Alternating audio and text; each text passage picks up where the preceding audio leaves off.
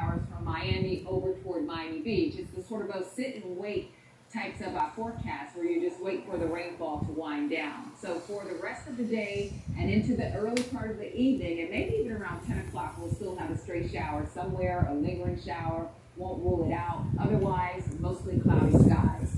Our weather not great when you compare to what we see across the panhandle where a cold front has cleared Pensacola and it is allowing the drier air to come on in on northerly winds this number right here, the dew point measure of moisture in the low levels, it's falling. It's now in the low 60s compared to the mid 70s here.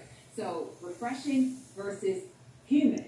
Guess what side we stay on for tomorrow? Yep, the humid side, the side where we've got the moisture to fuel some more afternoon showers and storms, while the refreshing weather is going to bleed down, trying to sneak down toward north central Florida.